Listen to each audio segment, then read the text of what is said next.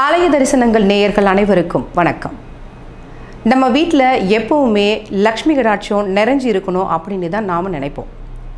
அப்படி நம்ம வீட்டில் நிரந்தரமாக மகாலட்சுமியை உட்கார வைக்கணும் அப்படின்னா நம்ம என்ன பண்ணலாம் அப்படின்னு பார்த்தோம்னா வீட்டில் எப்போவுமே வீட்டுக்கு முன்னாடி வாசப்படியில் லக்ஷ்மியோட படத்தை நிறைய பேர் மாட்டி வச்சுருப்பாங்க.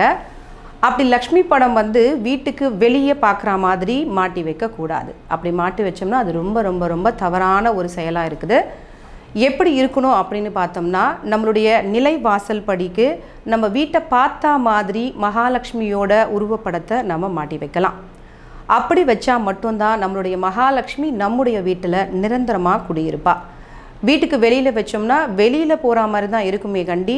வெளியில் இருக்கிற மகாலட்சுமி உள்ளே வர வைக்கணும் அப்படின்னு பார்த்தோம்னா வீட்டுக்கு நிலைவாசலுக்கு மேலே உள்பக்கம் பார்க்குற மாதிரி மகாலட்சுமியோட திருவுருவப்படத்தை மாட்டி வைங்க. எப்பவுமே பெண்கள் நிறைந்த மன மகிழ்ச்சியோடு இருக்கணும் சிரிச்ச முகத்தோடு இருக்கணும். பார்க்கும்பொழுதே மகாலட்சுமியை பார்க்குற மாதிரி இருக்குது அப்படின்னு சொல்லுவாங்க இல்லையா?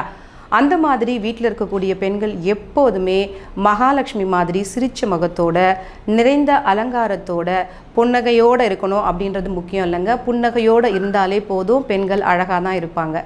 அப்படி புன்னகையோடு இருந்தாலே மகாலட்சுமி நம்மளுடைய வீட்டில் எப்போவுமே நிரந்தரமாக குடியேறிடுவாள் வீட்டில் எப்போவுமே ஒரு சந்தோஷமான சூழ்நிலை இருந்தோம் அப்படின்னு வச்சுக்கணும்னா மகாலட்சுமி நம்மளுடைய வீட்டில் எப்போவுமே நிரந்தரமாக குடியேறி இருப்பா அப்படின்றதுல நம்பிக்கை வைத்து மகாலட்சுமி எப்போவுமே சந்தோஷமாக இருக்கணும் அப்படின்னா என்ன பண்ணலாம் அப்படின்னு பார்த்தோம்னா மகாலட்சுமிக்கு ரொம்ப ரொம்ப ரொம்ப பிடிச்சது வாசனை மலர்கள் தான் ரொம்ப பிடிக்கும். மல்லிகை ஜாதி மல்லி தாமரை இந்த மாதிரி நிறைய மலர்கள் வாசனை மலர்கள் நமக்கு கிடைக்குது. அப்படிப்பட்ட வாசனை மலர்களை வாங்கிட்டு வந்து நம்மளுக்கு மகாலட்சுமியை நூற்றி எட்டு போற்றி உங்களுக்கு முடிஞ்சா தெரிஞ்சா நூற்றி எட்டு போற்றி சொல்லி போடுங்க. அப்படி இல்லைம்மா அப்படின்னா ஓ மகாலட்சுமியே போற்றி அப்படின்னு சொல்லிட்டு மலர்களால் நீங்கள் நூற்றி எட்டு முறை அர்ச்சனை பண்ணியும் அந்த மகாலட்சுமியை நம்ம மனதார பிரார்த்தனை பண்ணிட்டோம்னா நம்மளுடைய குடும்பத்தில் எப்பவுமே சந்தோஷம் நிலைத்து நிற்கும்.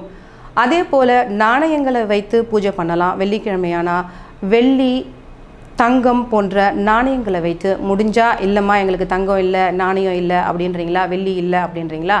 முடிஞ்ச அளவுக்கு வெள்ளி தங்கத்தால் ஆன நாணயங்களை வைத்து பூஜை செய்ய முயற்சி பண்ணுங்கள் அப்படி இல்லை கிடைக்கல அப்படி இல்லைன்னா ஒரு ரூபா நாணயத்தை வச்சும் நீங்கள் பூஜை பண்ணலாம். அப்படி பூஜை பண்ணோம்னா நம்மளுடைய குடும்பம் செழித்து வளரும் என்பதில் நம்பிக்கை வையுங்கள். மீண்டும் ஒரு ஆன்மீக பதிவில் உங்களை சந்திக்கும் வரை உங்களிடமிருந்து விடைபெறுவது சுதா நாராயணன்